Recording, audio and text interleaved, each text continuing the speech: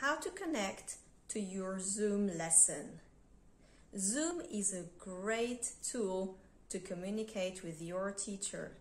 The quality, the sound quality is great, the video is great, and you can have a really good learning experience through Zoom.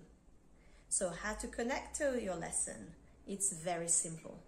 When the teacher confirms the lesson, you get an email with the Zoom link. You click on the link and then Zoom opens and gets you into the meeting.